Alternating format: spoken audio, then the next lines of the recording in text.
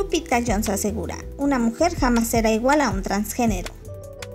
La polémica está en lo más alto en el concurso de belleza mundial Miss Universo, y es que después de que España anunciara que participará en dicho concurso Ángela Ponce, la primera chica transgénero en Miss Universo, la polémica se ha dado al por mayor.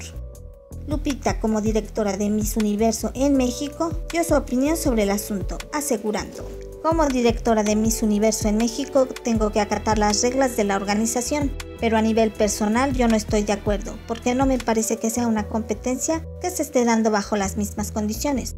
Una mujer nacida mujer jamás va a ser igual a un transgénero. Biológicamente no son iguales, agregó la ex Miss Universo. Opinión que comparte con Miss Colombia, quien dio una opinión parecida oponiéndose a los nuevos estándares del concurso. Lo cierto es que dicha decisión ha dividido opiniones también en el público, causando una gran polémica.